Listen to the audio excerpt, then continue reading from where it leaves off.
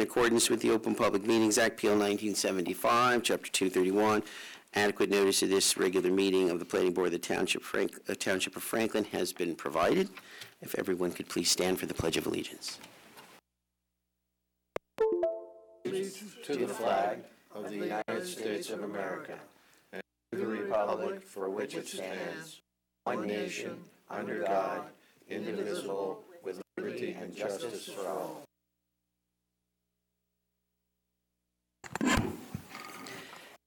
Council, Councilman Morrison, Here. Theodore Chase, Here. Erica Insuncent, eh, nope. Sammy, nope. Jennifer? Yep. Wagner? Oh, You did see Sammy? Okay. Sammy's right here. Mustafa Man, okay, Sammy's here. Mustafa Manzray? Nope. Charles Brown? Note Sammy just walked in. Yeah, I did, I marked him. Here. Thank you. Robert Thomas? Here. Mahir Rafiq? Rebecca Hilbert? Here. Chairman Orsini? Here. Okay, so um, minutes for the regular meeting of September 26th. This was the last hearing of B9 Schoolhouse. Um, And you'll note that this was just provided to you a couple days ago, so if anybody um, doesn't, um, you know, feel comfortable and needs more time to read it, that's certainly understandable, but, um, yeah, I'll go ahead and- and and make a motion to approve those minutes. So moved. Councilman Anbarasan? Yes. Theodore Chase? Uh, Yes, with a couple of very minor corrections that I've given to Christine. There's one unfinished sentence that ought to be finished, and that Howard Cohen's testimony, he referred to the board, and it would be, I think it would be clearer if he, were- if it were referring to the association, which is what he was referring to in order to avoid confusion with the planning board. Okay. Um, Approve with checking back with Kathleen. Yeah, I'll make sure that we, we make the changes before it gets posted to the website. Yeah, a Okay. minor change. Uh, Sammy Shaban? Yes. Robert Thomas? Yes. Mahir Rafiq? Yes. Rebecca Hilbert? Yes. Chairman Orsini? Yes. Uh, We have a number of resolutions tonight, and I just want to do these not quite in the order they're in. I want to take the 2024 board meeting dates first, because um, I have a proposal that I just want to get the board's feedback on. So personally speaking, um, no, that's good, that's good, sorry. Christine, you already made the change to have two meetings in November and only one in December.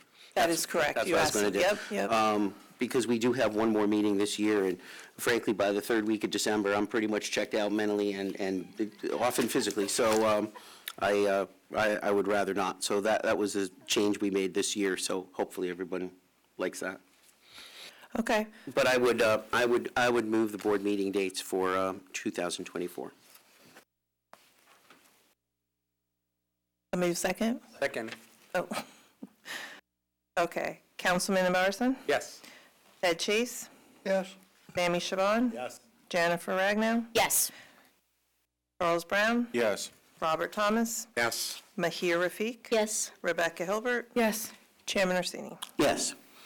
Um, The next one I want to take out of order is the county study resolution, and that way we can get through all the ones where Christine can in order read out who can vote on what that are actual um, um, resolutions for applicants. So um, the resolution, I guess this is, um, will go to council. Um, But the, the intent, uh, you can, it can certainly be sent to council, um, you know, basically CC'd. I think the original intent, um, um, the main recipient is the Somerset County Planning Board. Okay.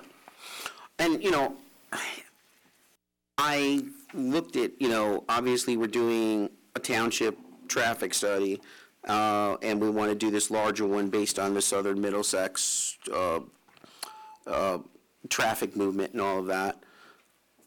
And I have no opposition to that.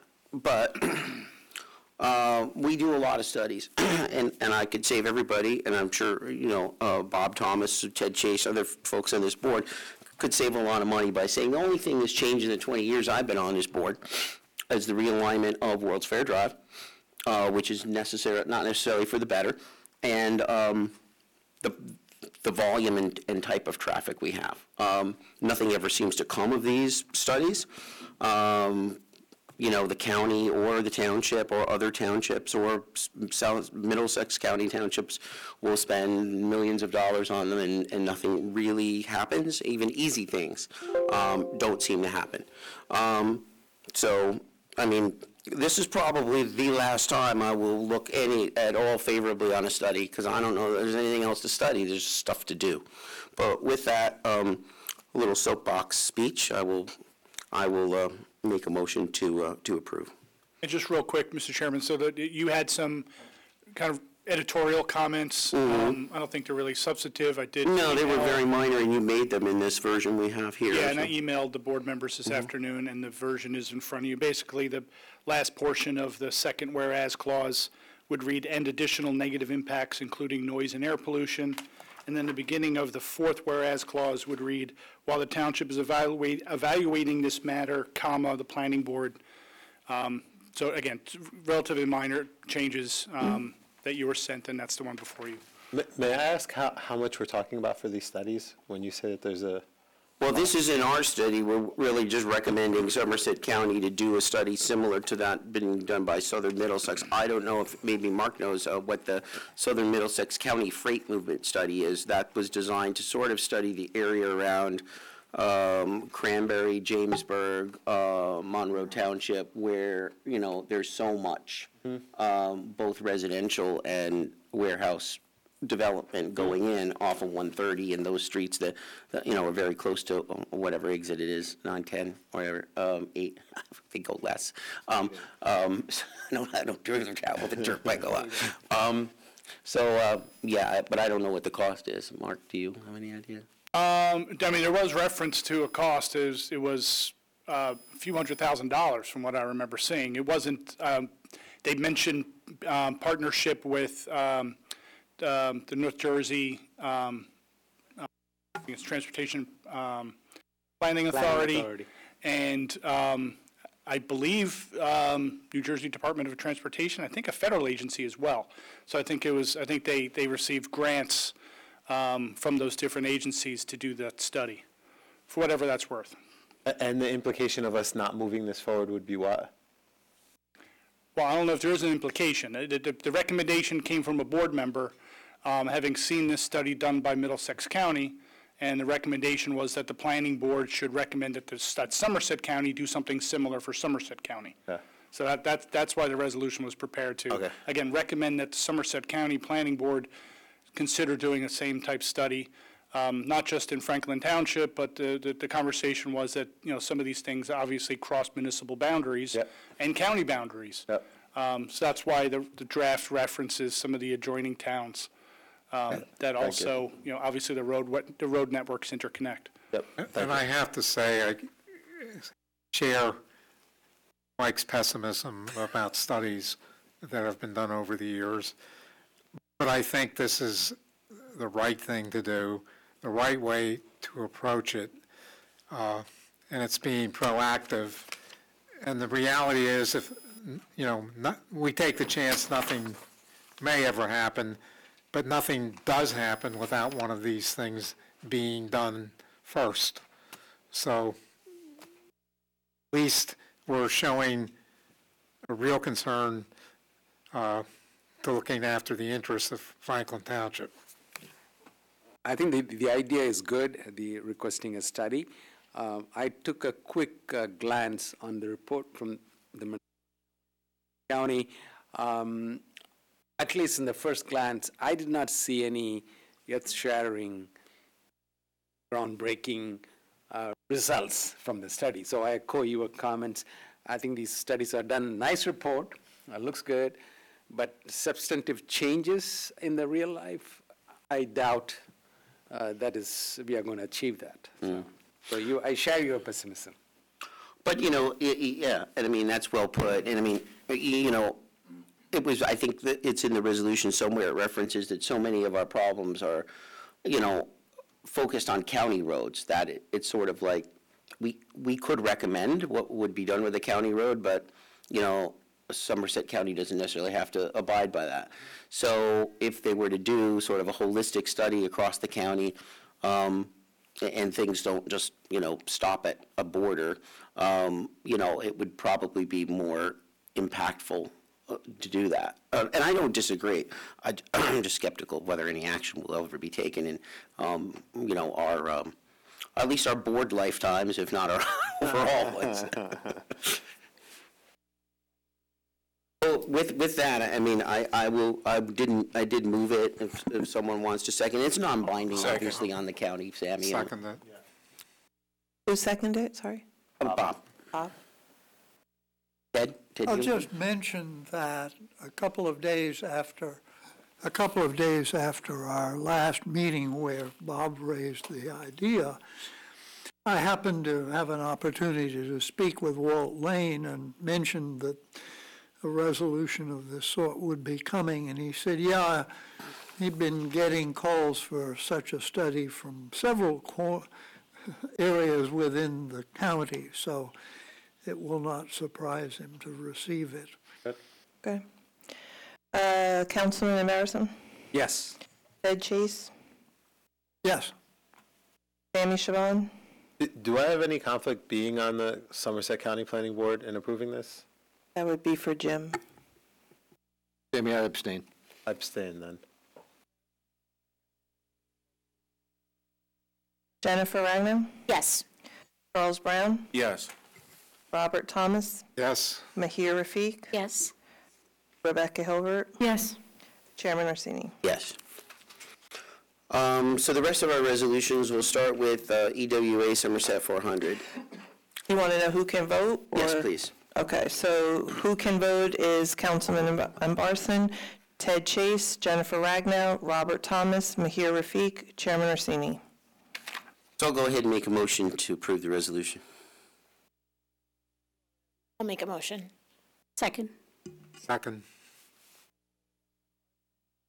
Wait, we do two motions I- in I- I- two I- seconds? Well, whoever, I moved it, whoever said moved I'll do, it. I'll do let's make them Jen's, say it, okay. yeah. Okay, Councilman Ambarson, Yes. Ted Chase, yes, Jennifer Ragnow, Yes. Robert Thomas, Yes, Mahir Rafiq. Yes. Chairman Orsini. Yes. Okay, for the Harbor Group, the only people who can vote is Council- um, Councilman Embarson, T- Ted Chase, Sammy Shaban, Charles Brown, Robert Thomas.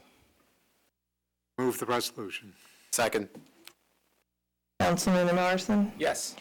Ted Chase, yes, Sammy Shaban, Charles Brown, Yes. Robert Thomas. Yes, For Canal Walk, the only people who can vote is Councilman Councilman Embarson, Ted Chase, Charles Brown, Robert Thomas, Rebecca Hilbert, and Chairman Orsini. move the resolution. Second. Councilman Embarson, Yes. Ted Chase, yes, Charles Brown, Yes. Robert Thomas, Yes, Rebecca Hilbert, Yes. Chairman Orsini. Yes. Franklin 24 Developers is Councilman Embarson, Ted Chase, Charles Brown, Robert Thomas, Rebecca Hilbert, and Chairman Orsini. move the resolution. Second. Councilman Embarson, Yes. Ted Chase, yes, Charles Brown, Yes. Robert Thomas, Yes, Rebecca Hilbert, Yes. Chairman Orsini. Yes.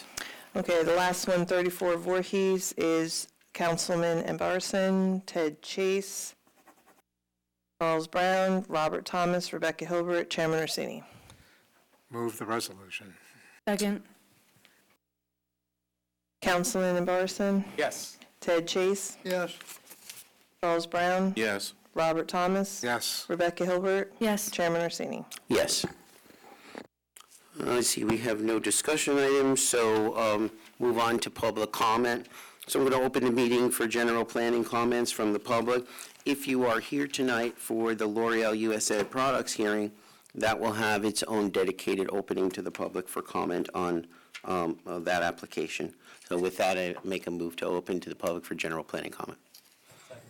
All in favor? Aye. Any general planning comments from the public? Seeing none, uh, move to close. Second. All in favor? Aye.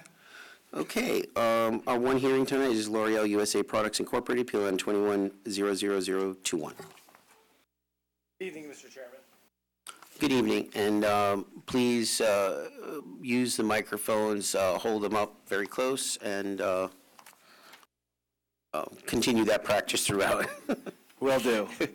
Uh, My name is Sean McGowan. I'm the attorney representing the applicant. I'm with the law firm of Greenbaum Rowe Smith and Davis in Roseland, New Jersey. Um, And tonight I am representing uh, L'Oreal USA Products, Inc., uh, with an application for their existing manufacturing facility located at 100 Commerce Drive here in Franklin Township. Uh, That is Block 86.03 and Lot 10.32. Um, The application tonight is to expand their existing facility uh, with uh, potentially a 149,000 square foot uh, building expansion, as well as stormwater management improvements to the property that would make that expansion possible. Uh, There is, uh, the original application requested an expand, an expansion of the facility by 248,000 square feet. During the pendency of the application, the applicant has reduced the size of the building uh, to be 149,000 square feet approximately. There'll be testimony provided. Uh, However, uh, they are only requesting preliminary approval on the building itself. The stormwater management improvements to the property, which there'll be detailed testimony provided tonight, uh, the applicant is looking for preliminary and final approval for those improvements. Uh, Those improvements will help to alleviate drainage both on the property and on adjacent Dahmer Road, uh, and will make the future expansion of the building possible. L'Oreal has been a corporate citizen of Franklin Township for almost 40 years. Uh, They look to continue to be a good corporate citizen in Franklin at this facility. Uh, This application is solely for their benefit, not for any third-party users or third parties at all. Uh, and they wanted me to emphasize their company's commitment to sustainability and green practices. Uh, As testimony will be provided, the facility will be a LEED Gold certified facility. Uh, It will be carbon neutral. It already has, solar panels are not part of tonight's application, but there are already solar panels at the facility.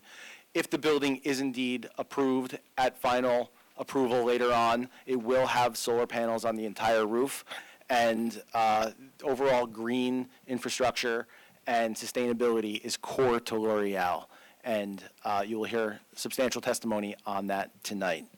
Um, As to the details of tonight's application, uh, the 149,171 square foot expansion that's being proposed um, also comes along with uh, 101 additional automobile parking spaces. That's actually being reduced through testimony later tonight. Um, Eight trailer loading docks, uh, four additional trailer spaces, a loading ramp, a utility courtyard, and then accessory improvements to drive aisles, drainage facilities, landscaping, and related improvements. On the plans, there was a request for one new variance at the property. I'm happy to say that testimony is going to be provided tonight that changes to the property can be made to eliminate that variance. Uh, So this application is essentially variance-free. Uh, For purposes of the record, uh, there will be one pre-existing uh, non-conforming condition on the front, related to the front parking lot, uh, which encroaches into the 50-foot setback uh, by approximately half a foot. There's no changes being proposed or made to that section of the property. Uh, So, um, however, there was previously a requested variance uh, for an encroachment into the 50-foot setback uh, on the western side of the property uh, for a stormwater management basin. However, as, uh, as I indicated, there will be testimony provided eliminating that variance. Just was, was one thing based on your, on your ve- very nice introduction is just, um, I think the board will be interested to know what improvements, uh, that you're asking for in preliminary and final. Um, versus the preliminary approval of the building itself. Um, Just, just to understand, like, for some reason, if, you know, for whatever reason, uh, you know, the building didn't get built, or what, what what is actually going to be cleared, what is actually going to be built, what sort of infrastructure is going to be there uh, to handle, say, stormwater and other things that you're saying, that um, for some reason, whatever the reason may be, that the building wasn't built, uh, what, what would those look like standalone, since you're asking for both preliminary and final for those tonight? So that, that's kind of the- just the the instruction I would provide. Yes, Mr. Chairman, and that's part of uh, the plan testimony from our site engineer.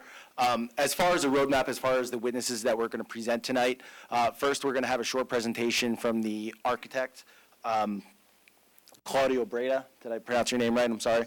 Um, And then after that, our site engineer, Ahmad Tamus from Bohler Engineering, will provide the bulk of the testimony.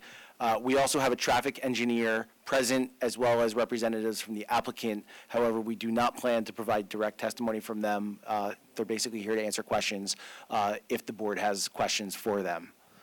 Um, Just like to put on the record that uh, our notices were published and mailed to the nearby property owners and submitted in advance of this meeting, Uh, so I believe we do have uh, jurisdiction. Uh, And of course, we are uh, requesting that all waivers related to the application uh, be granted so that we can be deemed complete for purposes of the hearing tonight. I, I don't think we would be hearing you if we didn't deem it a complete, right, Mark? Christine, you received? I'm sorry, I was, I was in, Deemed complete. oh, yeah, I'm sorry. I, I was, I was looking, I was looking. No, no, for it's something, not fine. paying attention. I thought they were asking about the notice. They're asking- They're asking about both. They want to know if the notices and the publication are accurate, and they want to know if they're deemed complete. They, were- they, they were deemed complete, yes. They would not be before this board if they had not been deemed That's what the complete. chairman said. Christine, Sorry. Christine, notices and affidavit he of publication, good, thank you. Very good. Yes, he sent me the Thank you very much. Uh, And with that, Mr. Chairman, if you don't have any further questions for me, I am going to call our first witness. Sounds good. Raise your right hand, please. solemnly swear to tell the truth, the whole truth, and nothing but the truth, so help you God. Name and address for the record, please. Can you, can you use the microphone, please? Is this on? Uh, Claudio Breda, that's B-R-E-D-A. I'm a senior project manager with Ware Malcomb, located at 110 Edison Place in Newark, New Jersey. Mr. Breda, could you please provide uh, the board with the benefits of your license and experience as an architect in the state of New Jersey? Uh, Sure, so uh, I'm a licensed architect in New Jersey as well as three other states here in the East Coast. I've been practicing architecture for over 21 years now, um, and I've appeared before this board, actually, I was here in April for another project, so. And I'm a graduate of uh, Pratt Institute in Brooklyn.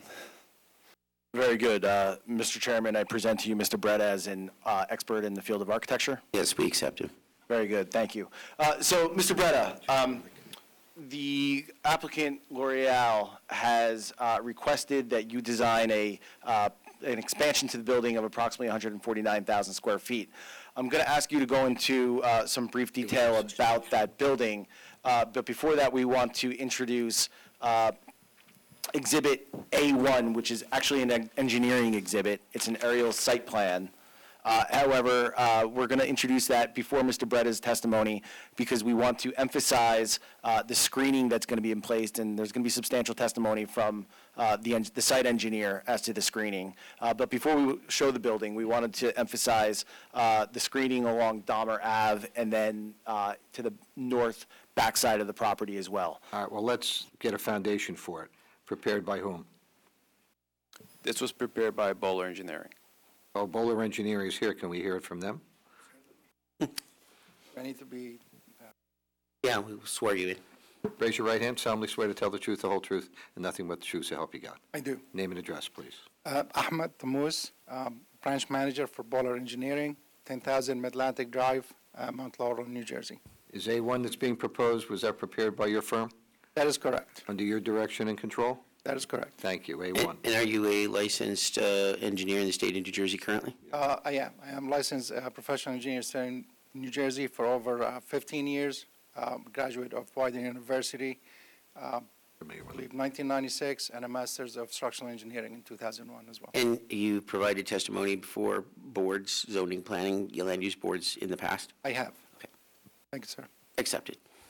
Very good. Now that we have uh, admitted the aerial site plan into uh, evidence, uh, Mr. Breda, would you like to just to describe where the proposed building is going to go and, and the screening?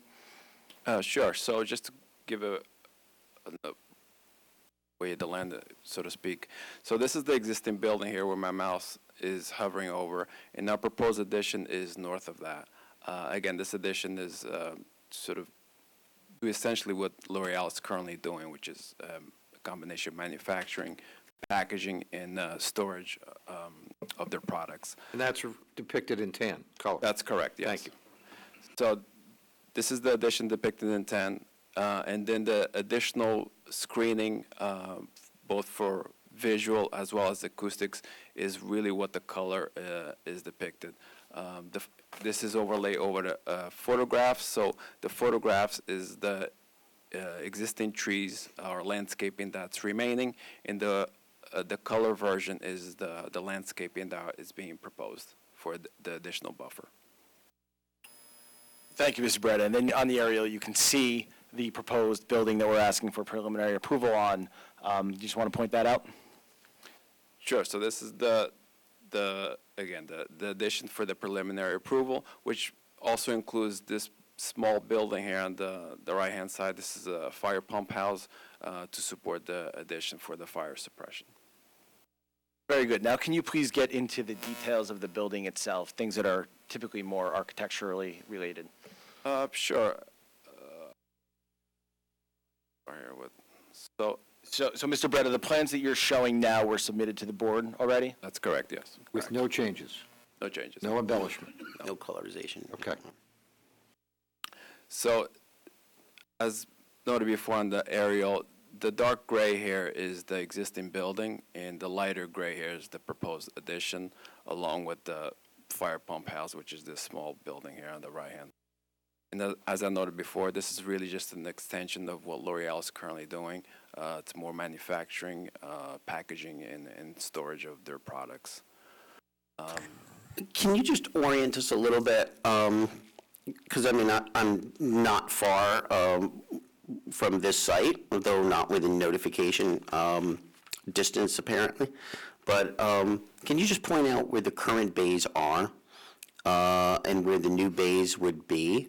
Um, Bays meaning the the dock doors. The docks, yeah, yeah. So they're all here on the right-hand side. Okay. And the, the new ones that we're proposing will also be here along the right-hand side, right where my mouse Okay. is.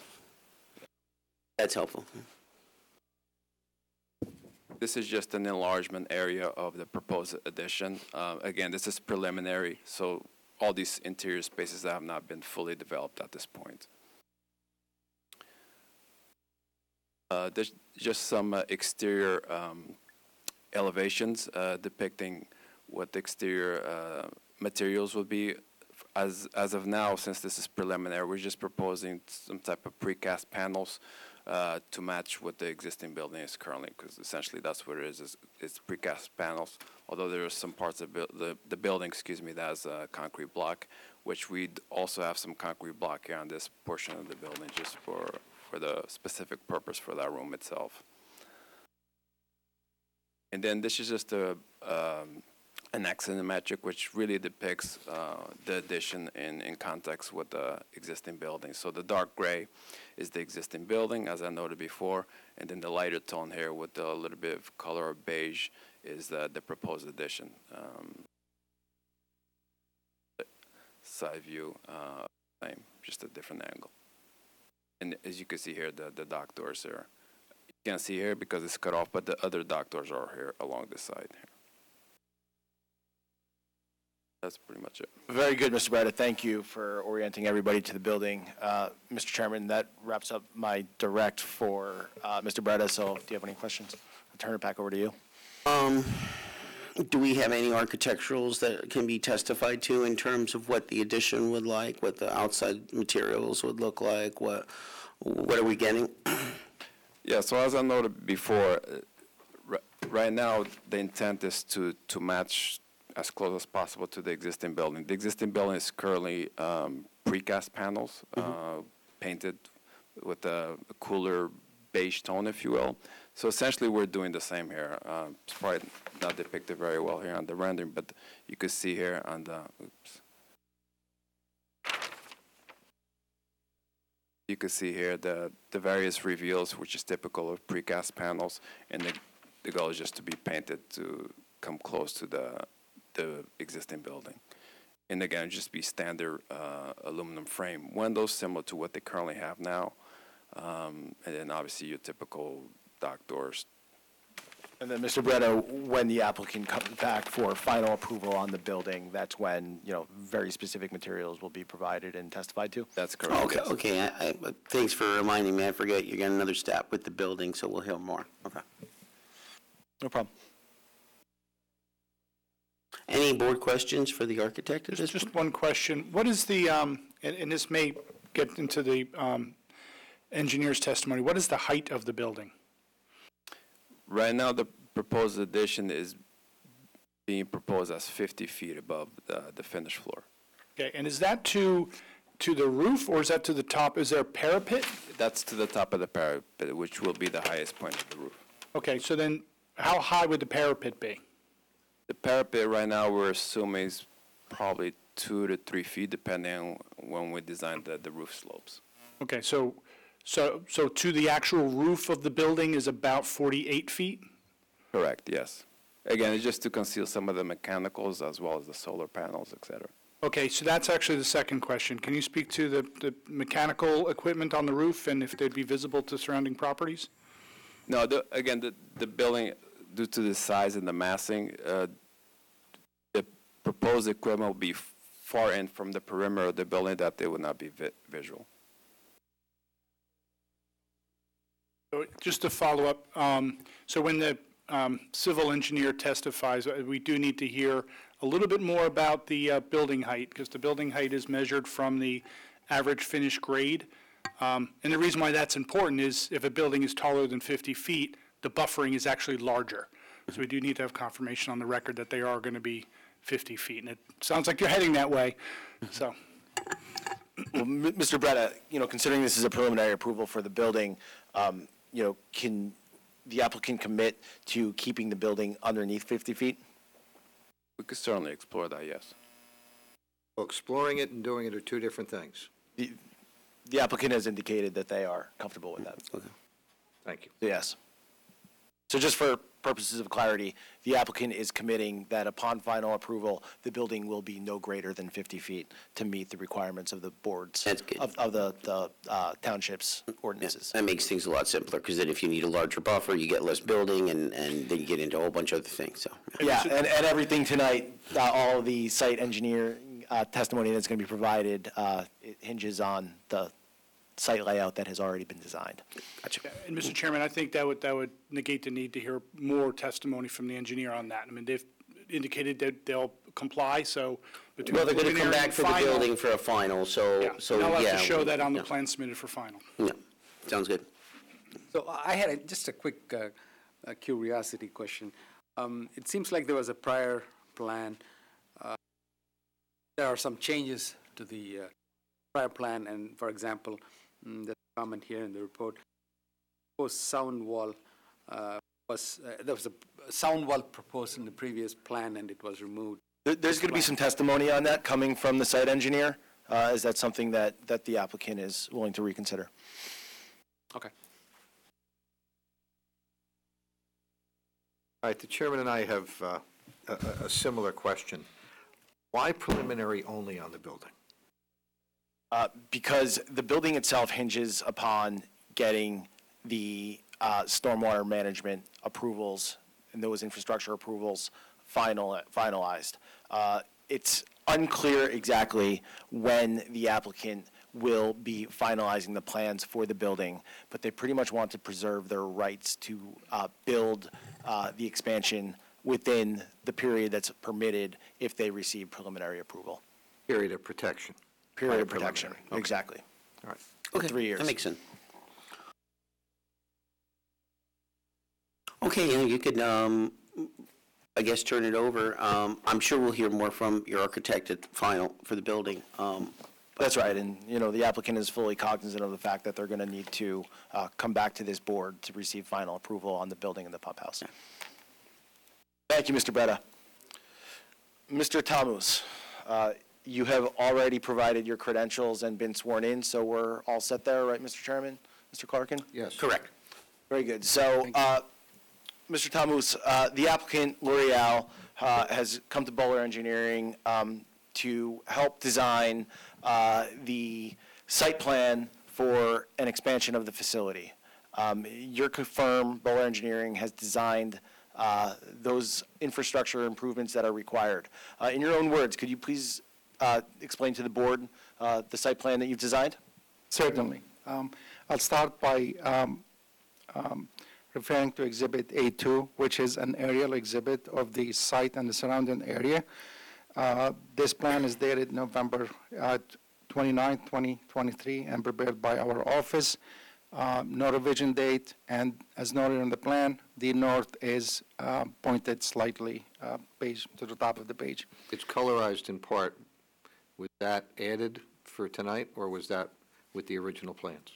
The colorized area, we wanted to emphasize certain areas on the plan, and I'll go over that. Uh, These are some of the drainage improvements that will be, um, um, we are proposing on the plan to address some of the drainage issues on site as Then it- really. then it'll be A2, Correct. into the record. Correct. This is Exhibit A2. Thank you. So the property is located at 100 Commerce Drive. Uh, It is Block 8603, Lot 10.32. The total lot of the entire property is 29.5 acres. The property is located in a BI Business and Industry Zone. Uh, The site is bordered to the north by residential properties uh, along Gary Court, to the east by uh, similar industrial uses, to the south by Commerce Drive and further industrial uses, and to the west by Dahmer um, Road and residential property. In its current condition, the site houses the existing L'Oreal facility with associated loading locating along the eastern portion of the property. The existing loading dock, if I would zoom in on the plan, uh, you'll see the trailers along the eastern um, portion of the property. You see the surface solar panels, again, uh, they're to the east of the property, and in the same location, there's existing stormwater management facility at the same location. Um, The existing parking, whoops, the existing parking along the south of the property is, most of the cars are are along Commerce Drive, and then we have some parking along the western portion of the property that is along um, Dahmer Road. Um, There is also a regional basin on the south side of Commerce Drive that was developed to handle the industrial development for the entire complex, uh, along with another um, regional basin um, right along Jiffy Road. These two basins handle the majority of the runoff associated with the entire industrial complex for the area. The site in its current condition, as noted on the aerial, we do have two access points for the car um, and on Commerce Drive, and we do have one access for the truck trailers leading to the east of the site. There is an existing um, emergency access, secondary access off of Dahmer Road. Uh, We are proposing to uh, close that off for the emergency access and um, revegetate the area to provide the buffer needed there. Uh, We will, um, based on the plans, the intent is to provide a emergency access off of Dahmer, uh, and the final detail of that is part of the final plan when we come in with the final application. The previous applications shows the improvements there. There were some comments, uh, and we will work with your professionals to address that to their satisfaction.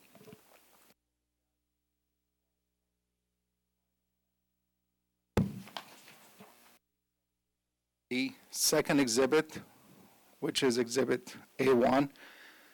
This exhibit is a color rendition of the actual site plan that was submitted uh, to the board back in November. These, the plan is dated October 20, 21st, with the last revision date of November 7, um, 2023. The north is pointing also to the north. Um, This is a colorized version of the plan. Uh, I'll go over the um, simplest uh, modification we are proposing. This shows the,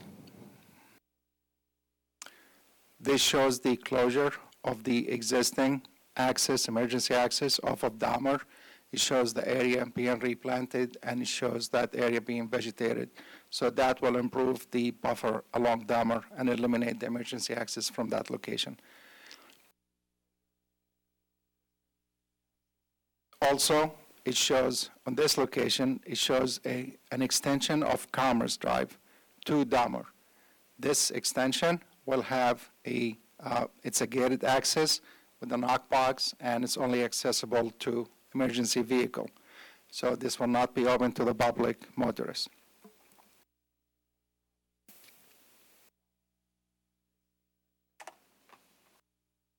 The applicant is proposing to expand the existing facility by constructing a total of 149,171 square feet. That is reflected on this plan by the area uh, in tan. Also, we are proposing a approximately 1,450 square foot pump house um, that is uh, along the eastern property line.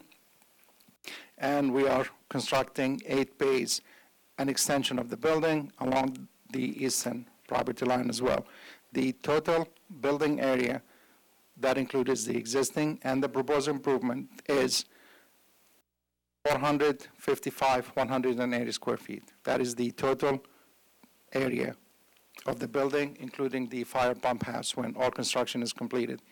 The construction of the building itself, that is, uh, we are seeking preliminary approval only on this building, uh, and I will go over the uh, requested uh, preliminary and final improvements on the plan.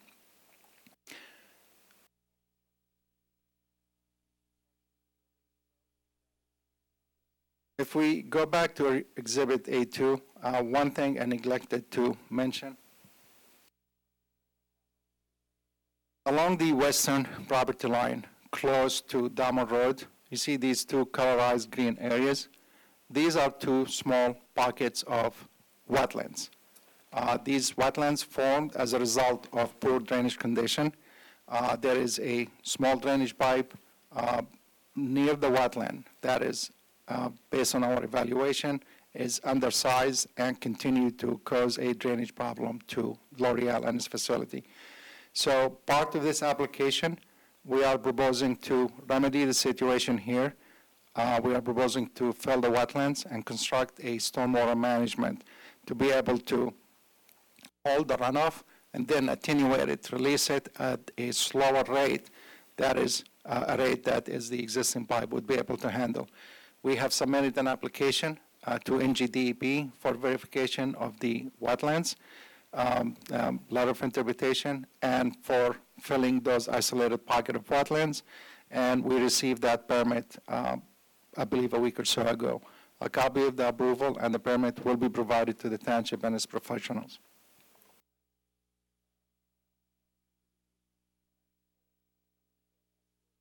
What, what, uh, what did the letter say, Well, I mean, in terms of rating of those, those wetlands? What did they classify them as? Intermediate value, they did not have any buffer. They were formed because of the water condition, the drainage condition on site, and DP allowed us to fill those wetlands.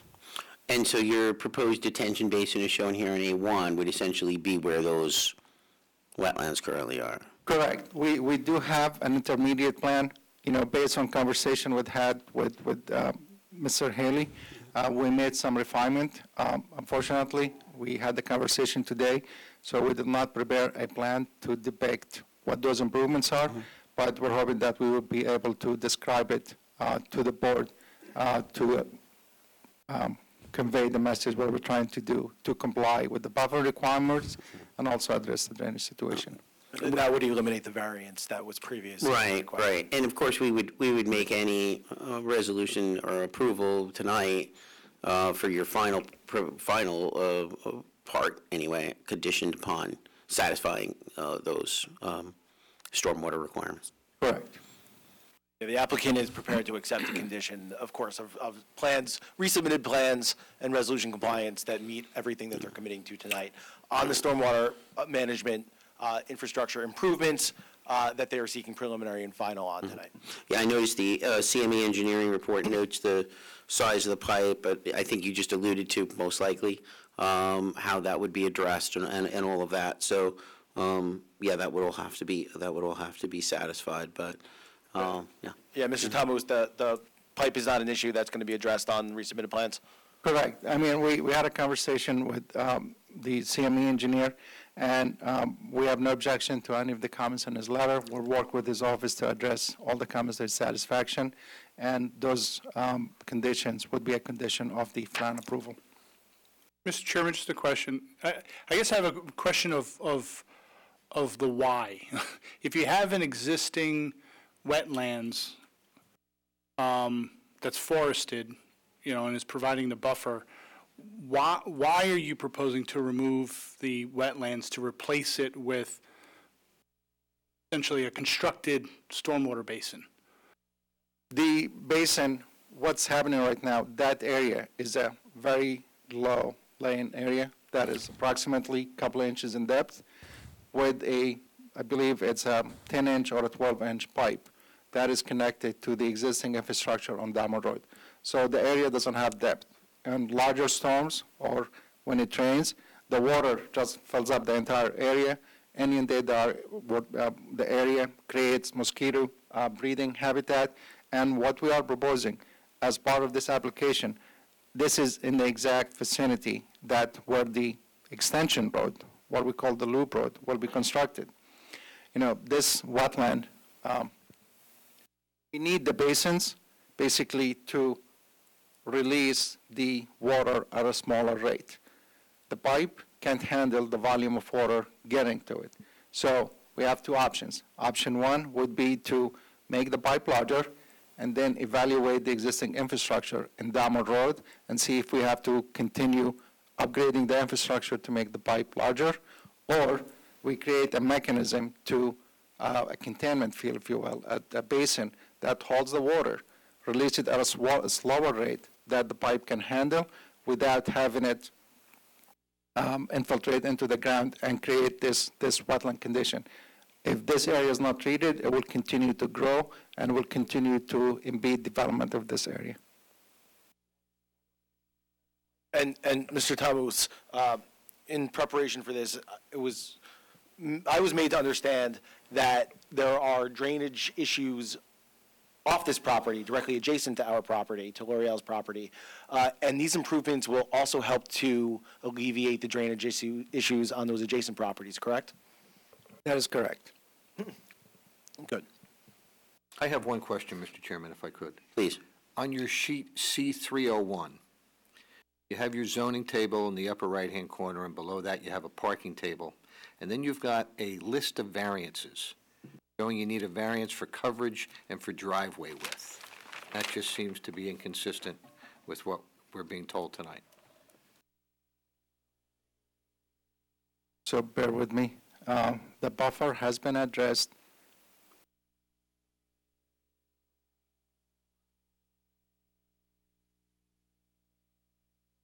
That, is- that variance is, is not needed, and I will explain where, where that, what is that occurring.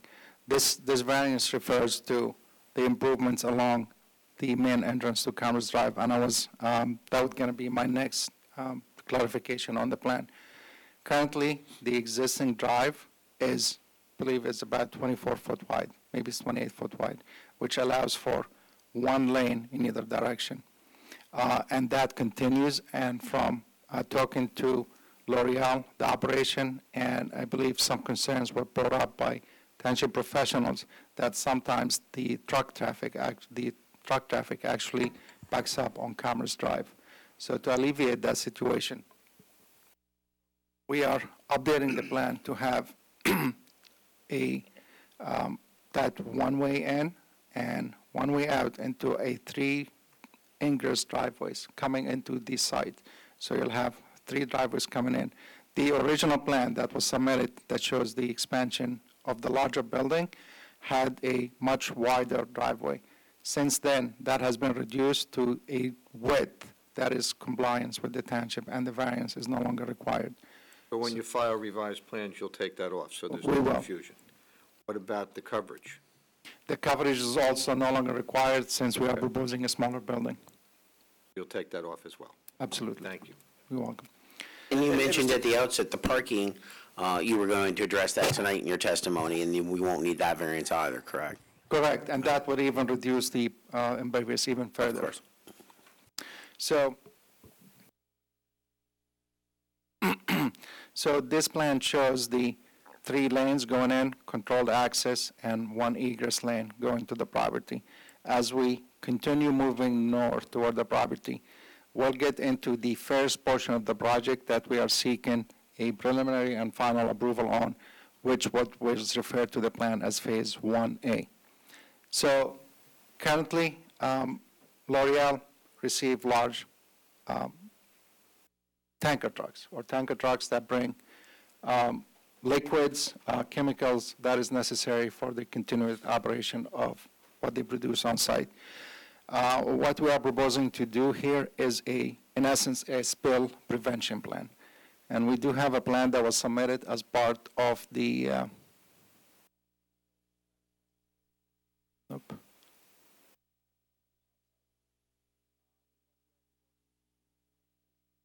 You bear with me. Um,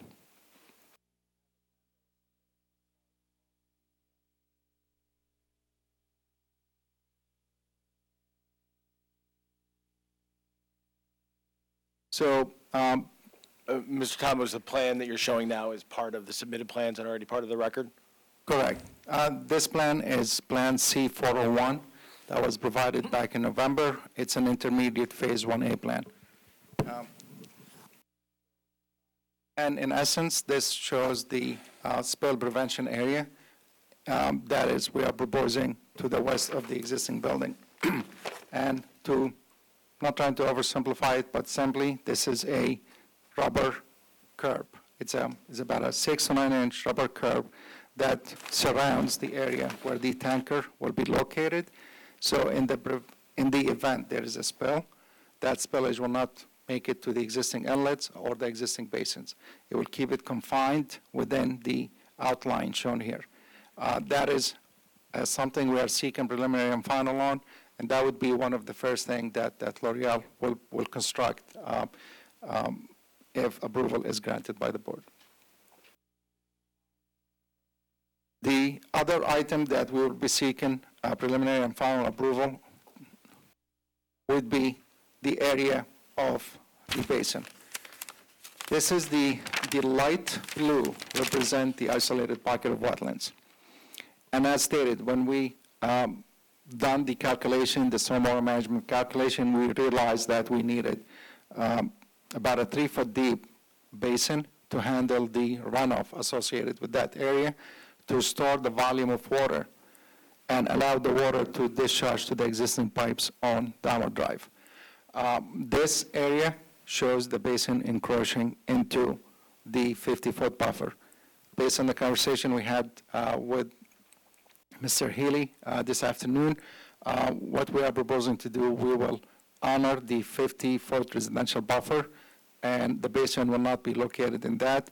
In essence, this basin will slide to, will move in an easterly direction uh, about 20 or 30 feet, which will guarantee the 50 compliance with the 50-foot residential buffer and um, allow for the proper drainage of the facility as well.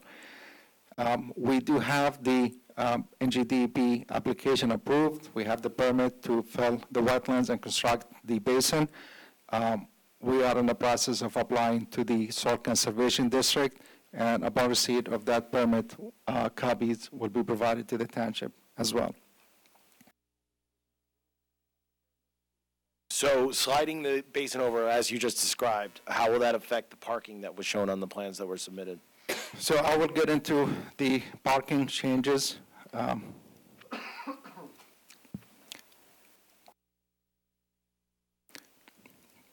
As, as we continue in a northerly direction uh, along the proposed improvements, we'll pass by the existing loading dock, and then we'll get into the area of the proposed expansion of the building. Um, At the northeast point of the proposed building, we do have the proposed loading docks, which we have eight bays that is constructed. The gray area represent the uh, heavy-duty pavement that is needed for the truck traffic. Uh, There was a, um, a question by one of the board members about the previous plan that showed a um, sound attenuation wall.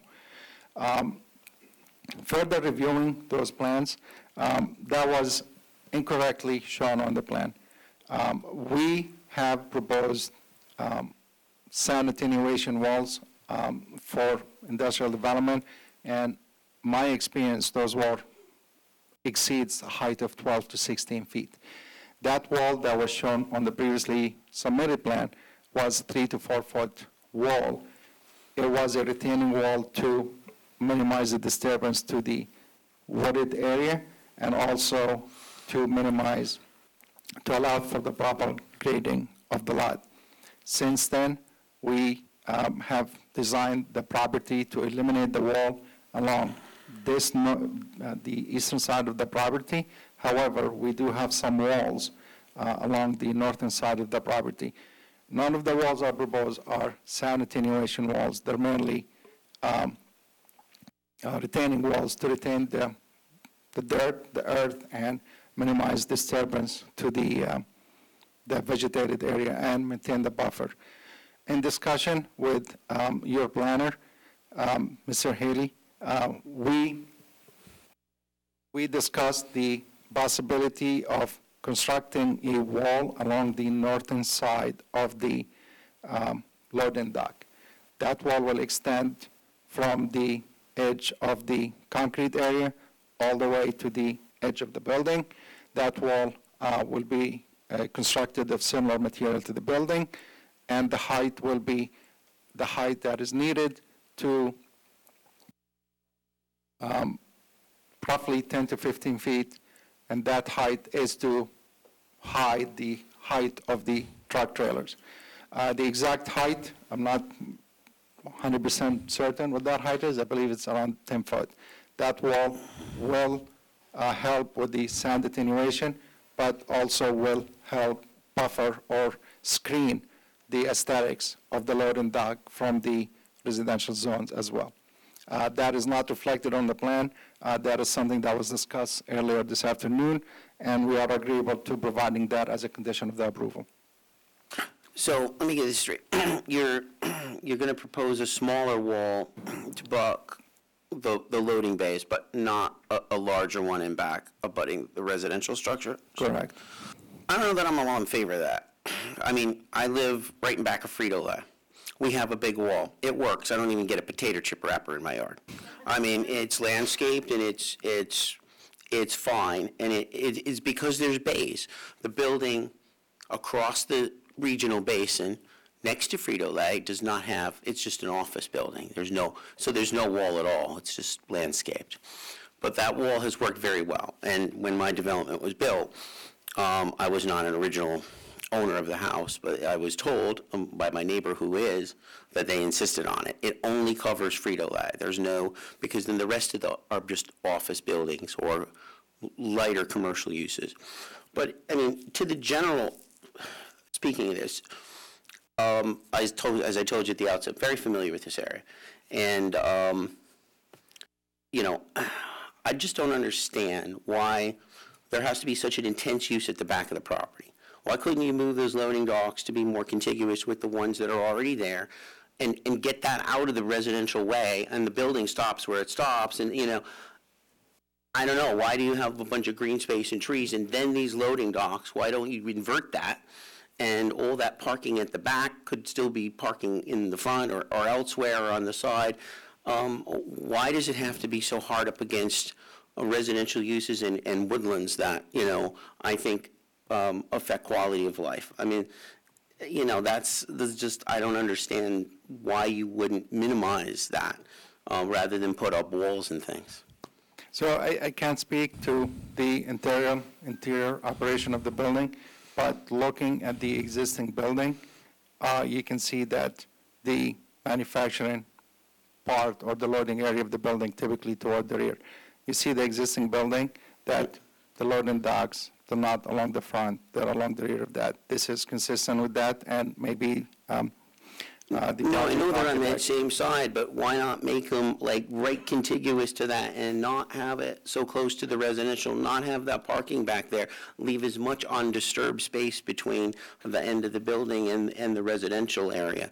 Um, it- This just almost seems like it's more or less maximized to impinge the- on, on the residential area. Um, And, you know, there's also a railroad line that goes back there, right, part of the Conrail line. I remember the days when they used to push a train through once a year just to keep the, um, literally push it through.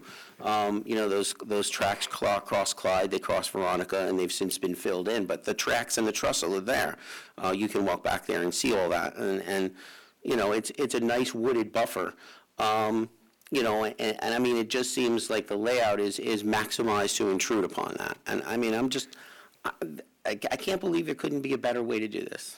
I mean, why, why not push, push the, if you're going to fill the wetlands, why not push the basin back more toward the residential area and have that be, you know, um, more or less wild? You can landscape a basin and make the building more.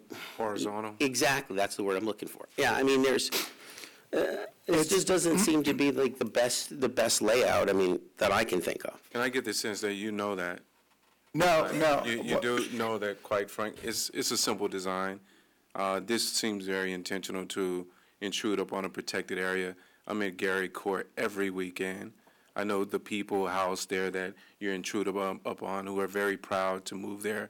They've been making improvements over the years to their home, and to even think that you wouldn't put a wall to protect the houses is just unacceptable.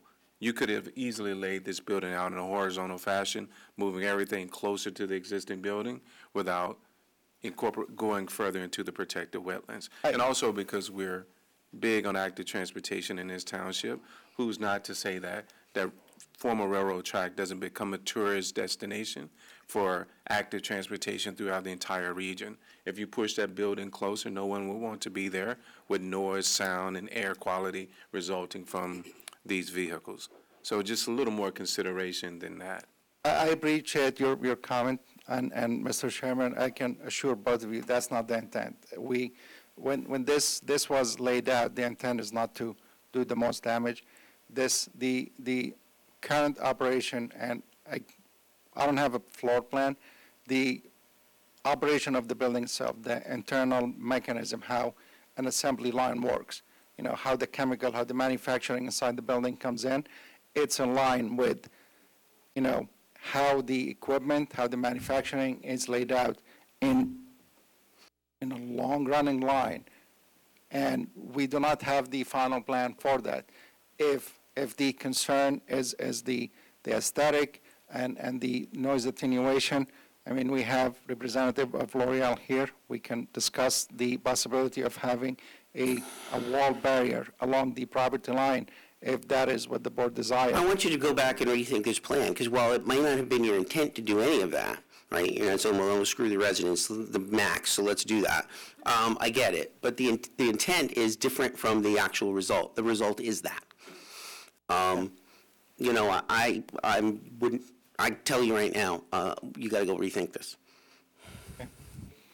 The one thing that I will say in, you know, my conversations with the applicant and, uh, and Bohler Engineering and, and Mr. Tamus is, uh, maximum consideration was given to screening and trying to be sensitive to the residents, not to, uh, you know, um, um, say you're wrong, Mr. Chairman, and of course, if that's what you're directing the applicant to do, I'm going to ask for a recess and discuss with the applicant. Um, But uh, I just want to be clear that from my perspective, screening and uh, trying to uh, prevent any intrusion into the nearby residents was of the, the foremost uh, consideration in the development of the plan. Yeah, I mean, I think, well, I mean, eh, at the very minimum, you're need to do a a heck of a lot better job with any type of screening, but I really want you to rethink the layout, because I don't understand why, just as Charles said, that building couldn't be more horizontal, the detention basin, you're gonna fill it anyway, whether you fill it and put a detention basin there, or you fill it and put, you know, part of a building in, it doesn't matter, it's filled. Um, and, and then your basin goes towards the back, you have really minimal disturbance, the basin can be landscaped and is sort of a, a- a buffer into itself. Um, Pipes can be extended. I mean, I just don't believe there's not an engineering solution to having a better design of this building. With that, I would request a five-minute recess. Granted. Thank you.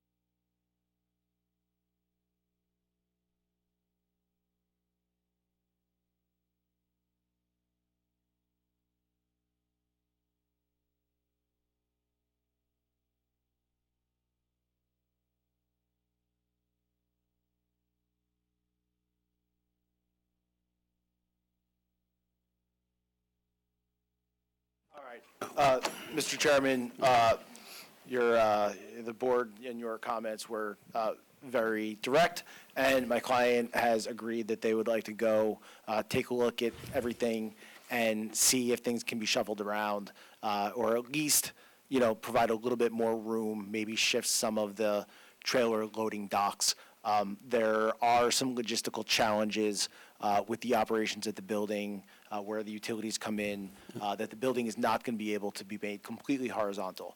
That being said, um, you know, they are, would like to carry tonight's hearing uh, to take a very hard look to see if some improvements can be made to minimize the encroachment towards the rear of the property. Um, And uh, therefore, we would like to carry tonight's hearing. Uh, If possible, we would like to carry it to uh, maybe a hearing date in March so that we do not need to renotice. Work, work with our specialist here. Um, What do you mean not to renotice? Because we can announce it tonight. Right, I- I- we would like to carry to uh, March. I just don't, I don't know the meetings Okay. off the top of my head in March. No, I was going to tell you, somebody just dropped approved off on February 7th, but if you want to move to March, I think we, we already have, That's going to be too tight for the changes that, we that we're can't going do to make. March because we have uh, two, one, we have hearings, big hearings, March 6th and March 20th. The next available would be April 3rd.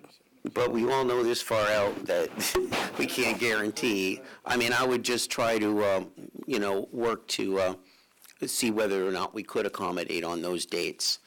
Um, And I mean, I You're would, I would come? come back with a preliminary and final for everything. Uh, Let's see it holistically. I think that works best for the board, not to bi, not to bifurcate. Is that, is that possible? Because I don't think the building itself is an issue. I mean, it's a permitted use in a permitted zone. Um, The things that you want to look at based on our direction are are exactly what we want you to look at. We don't expect maybe that, for the reasons you just stated, we'll be able to get you know, perfect, but we'll, we'll find, a find a happy middle ground. I- I don't have any issues with the building or the thought of expansion, it's, it's in the right zone. The traffic, it's Commerce Drive, it's, it, it goes the way it goes with the uses it has now. Um, so it's not going to probably, it's not gonna impinge, you don't have access onto Dahmer or anything like that.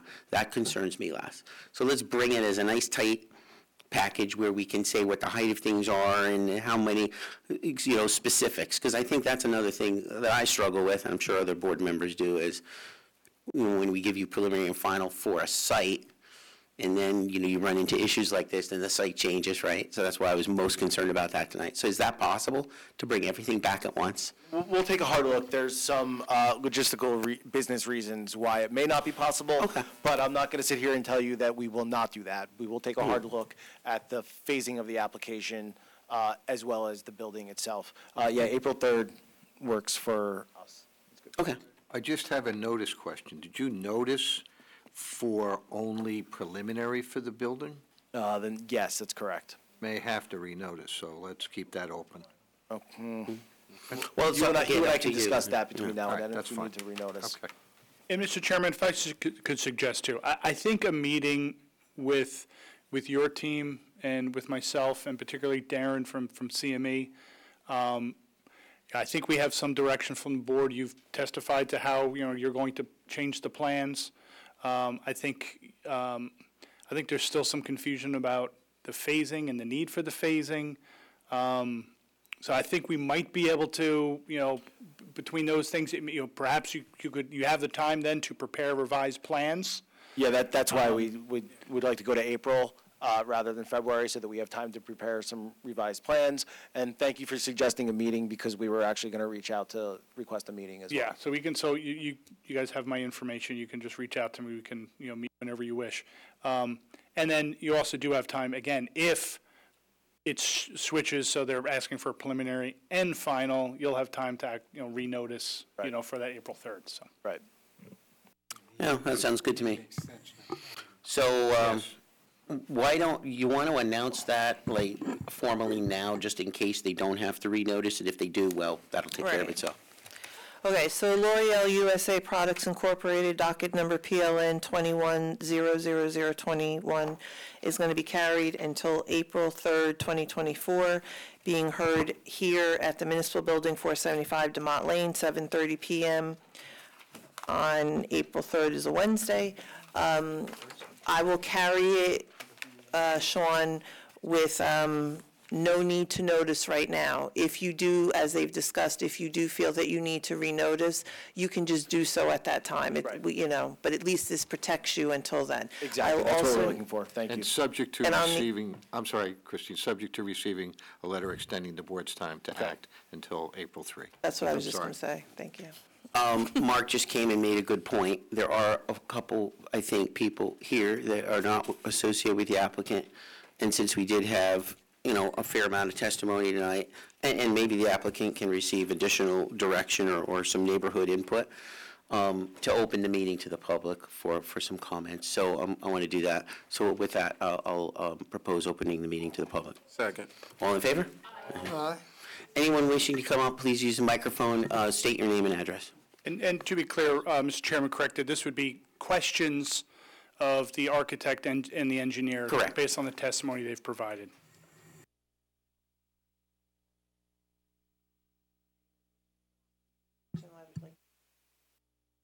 That's exactly what I was going to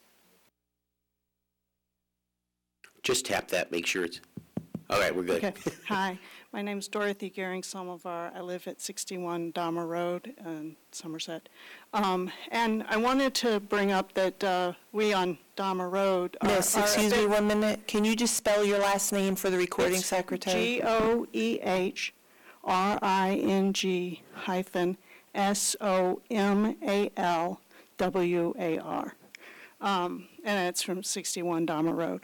So I wanted to say that, you know, we on Dahmer Road are a bit concerned, when I look at the picture there, um, it looks like a good bit of tree coverage on Dahmer Road where they're putting in the new parking lot um, is going to be reduced by the the drainage system.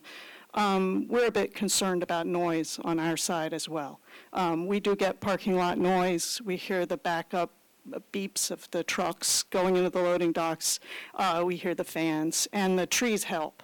Um, So we're a little bit concerned that there might be a reduction of those noise-canceling trees on our side as well. Um, And, and that with more parking, more loading docks, more fans, we might have more noise, um, but not have the buffer that's there right now. Thank you.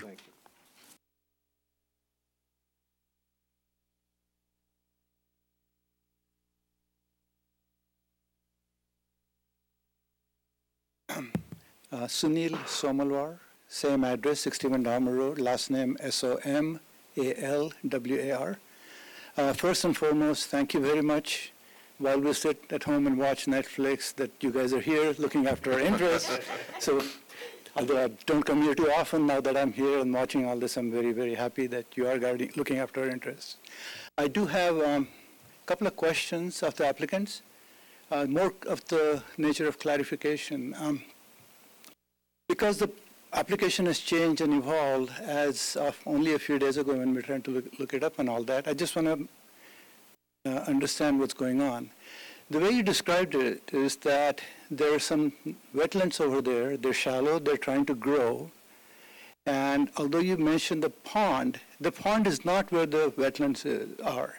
You are going to fill in the wetlands, build a parking area over there, and move the pond elsewhere. Is that right? Mr. Thomas?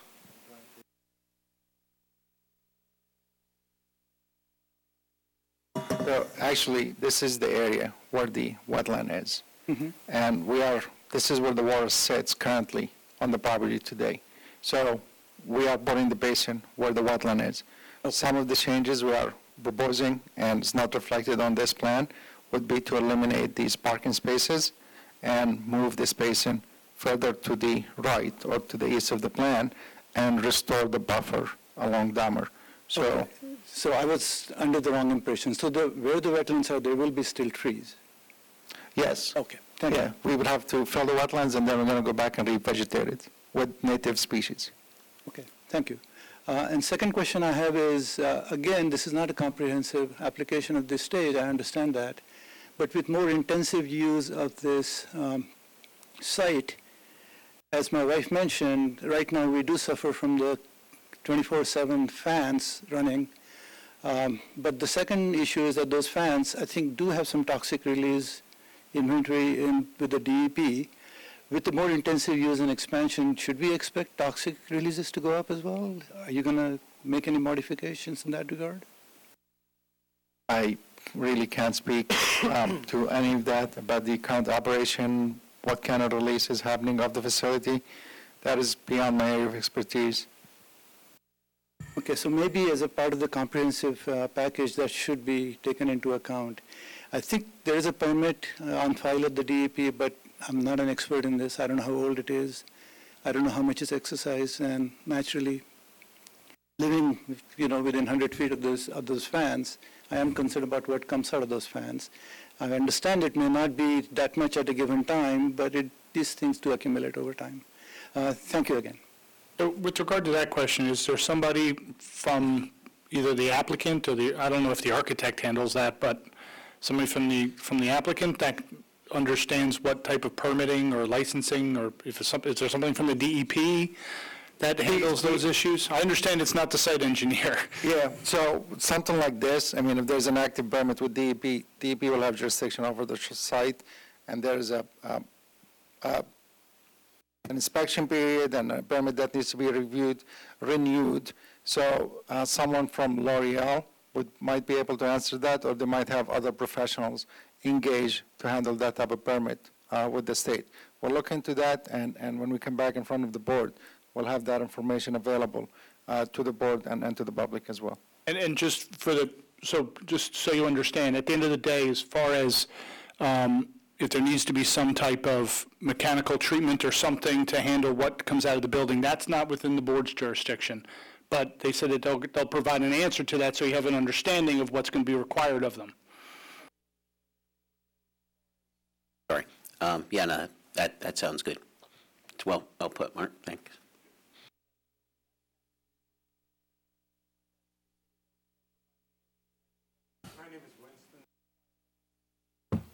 I live at, Can you just speak right into the microphone? Can you say that one more time, just so that pic- picks up, Winston? yeah, my name is Winston Belmar. You hear me? Okay. I, pardon? Oh, Win, B-E-L-M-A-R. B-E-L-M-A-R. First name is Winston, W-I-N-S-T-O-N. Been living at 69 Dahmer Road for over 20 years. Um, the first question, and I'm into information overload here. I am an engineer, but I, I need to be schooled and uh, hold my hand and carry me through the process. But uh, more importantly, what I'd like to find out is um, what I gathered that the stormwater wetlands going to be preceding that of the expansion. Is that correct? That is the intent, that is That- correct. That's the intent. Okay. So if you look at the plan um, holistically, assuming that permits and everything are approved, what would be the fast-track approach to getting the stormwater facility up and running? When you permits, you're looking at one year down the road or two years down the road? What's the time, ta- what's the timeline for this? Uh, We do have the permit for the state for the area in question. I'm assuming the area in question is this area here along Dahmer. So we do have the EP approval. Usually that is the longest thing to obtain. Took over uh, six or nine months to get that permit from the state. Um, uh, How long it takes to construct it after receiving all the permits, something like this will probably take two to three months for, to construct the basin, revegetate it, that sort of thing. So you're looking at six months from the time permits are approved, you break ground, and then you have the facility fun- fully functional. For the basin itself, correct. That, that's a good estimate. Okay, and then moving, moving ahead, we talked about 100 and roughly 47,000 square feet of, of facility, and then you have um, up. Um, What do you envisage would be the overall decibel level in terms of noise that would be, um, because I am concerned about um, decibel level. As a neighbor, I would say the the decibel level from the plant is just marginally acceptable. And if it's been augmented, then it becomes, I think someone, I even, I think the, talking about the quality of life. I am concerned about the quality of life. But more importantly, I've done some research about stormwater, uh, things that concern me. Uh, What are the challenges? I know you're a good, reputable engineering firm. There are challenges, and the challenges, my research indicated that water quality impact, habitat impact, health and safety, logistics, and maintenance. Maintenance is a big one. Nuisances, mosquitoes, uh, habitation, and so I'm overall concerned about animals. Well, Mr. Thomas, maybe you should answer some of the questions, but, um, you know, I know that a lot of these improvements are uh, fully intended to improve some of the issues that you just mentioned. Mr. Thomas, maybe you could expound on that? Yeah, so, so the, the maintenance, um, there is a mechanism that is required by the township and the state, that proper maintenance of stormwater management. Uh, It's a maintenance plan that gets filed in the courthouse, it's recorded, and an annual inspection is required by the facility.